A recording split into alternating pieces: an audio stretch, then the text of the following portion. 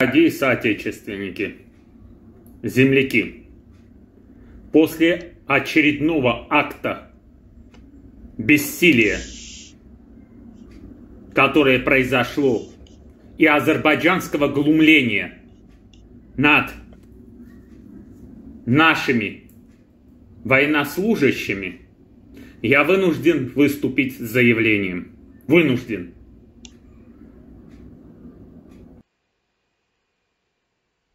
Меня призывают перейти от слов к делу.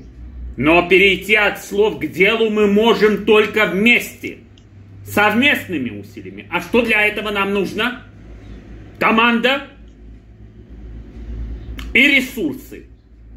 А все остальное хватит уже. Не, неправильно говорил Ленин, что каждая кухарка может управлять государством. И не каждый журналист может им управлять. Надоело это уже. Сколько еще жертв? Сколько крови надо, чтобы мы осознали реальность?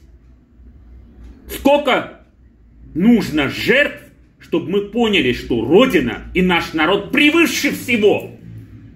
Сколько нужно это? Сколько этого нужно, я вас спрашиваю?